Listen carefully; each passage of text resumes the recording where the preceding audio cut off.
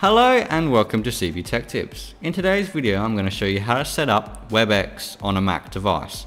For other devices please see the YouTube channel for Windows and iOS.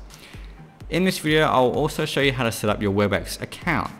We will be using WebEx for all our online classes for the foreseeable future. The first thing we need to do is open up Safari. We can open a new tab, you can use Chrome if you like as well, and we're just going to Google WebEx and we're going to click on webex.com and we're going to go start for free and this will set up our account. Now we'll need to use our school email address. If you don't know your school email address password, you'll need to find it out. Please contact the school to get this sorted. And so now we're going to enter our school email address. So we've entered our school email address in, ending in schools.sa.edu, and we can click sign up and give it a second. Now we need to enter our name in, our full name, so we can click continue. Your new account is ready. So now we need to access our school email. Um, using the school email is the best way. It allows teachers to easily add you to their classes rather than fuffing around looking for your Gmail, your Hotmail. So please make sure you use your school email. We now need to wait for the email to come through. It'll come through in the inbox.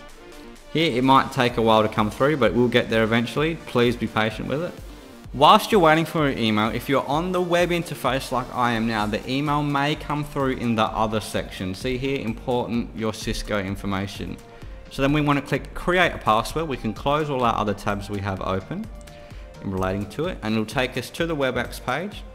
So when creating your password, you can't have your name in it or any of your last three passwords, which doesn't concern to us, but it must at least uh, it must hit all of these.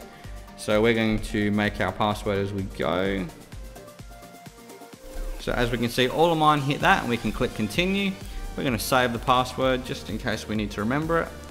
And it'll take us to the web dashboard for WebEx. Now the first thing we want to do is download the app for our computer.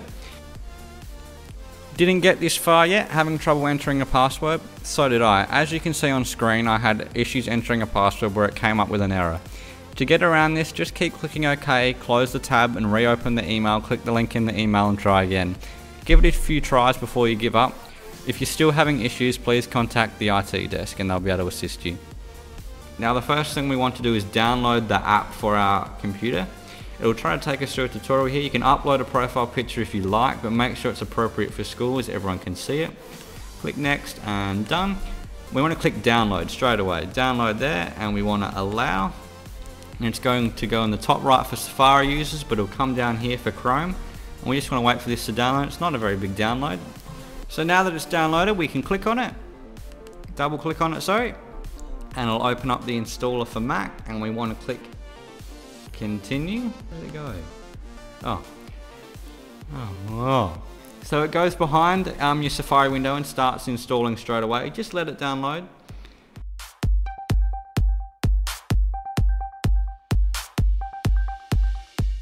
So the WebEx platform may take a couple minutes to install here. Um, just give it time, be patient with it. There are a lot of people trying to download this at the moment.